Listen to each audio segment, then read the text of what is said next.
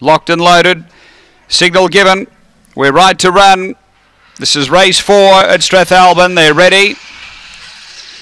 Set and away, and there's pace toward the centre here. China Vicky's going to push over and grab the front. Jables quickly took it on and took over. Behind those, Dinah Leona getting to third. And next is Pistolier, a breakaway Gold Bro. Then Jen Shen, three away, powerfully, and Viron's memory. But this has burnt them off. Jables up to the bend, uh, straight and five in front. Dinah Leona's running on. Uh, Jables is getting tired, but it had too big a lead, and Jables uh, went on to win. Uh, second, Dinah Leona. Third, Pistolier, and then China Vicky. Next is Gold Bro from Jen Shen, and Power for Lee was back at the tail. The time, uh, it's around the 24 7 mark.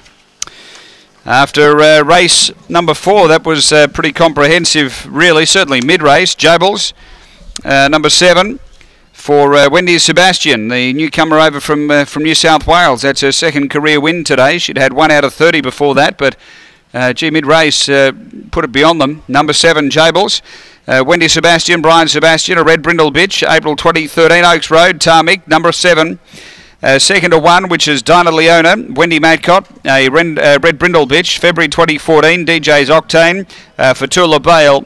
And number three, Pistolier Yvonne King, a black dog, June 2013, Magic Sprite Spirited Lady.